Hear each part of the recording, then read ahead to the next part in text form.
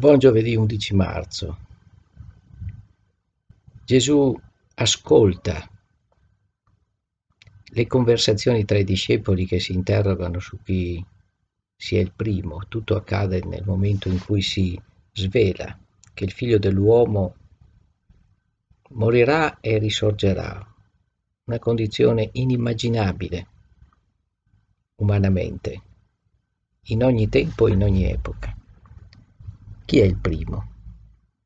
Più virtuoso, il più forte, il più coraggioso, il più saggio? No, il primo è colui il quale si mette nella condizione del servizio, ma il primo è soprattutto colui che incarna la fragilità, cioè l'ultimo.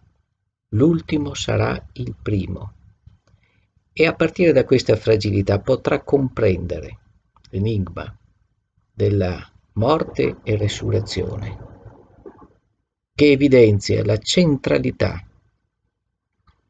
della fragilità per la vita umana che è costantemente evolutiva e rinasce.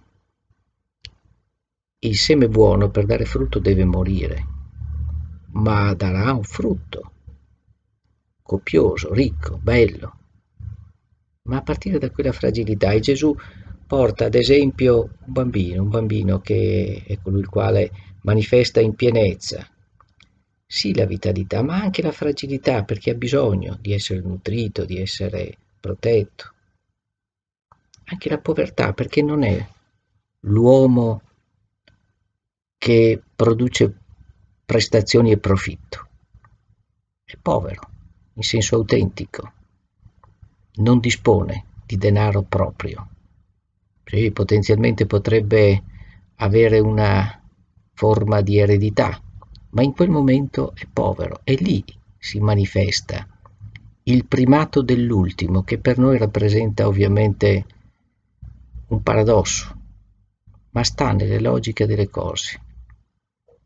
Naturalmente nel momento in cui l'ultimo diventa primo deve mantenere integra la sua coscienza critica nei confronti della seduzione della forza e accogliere in sé la fecondità della fragilità. Buona giornata a tutti.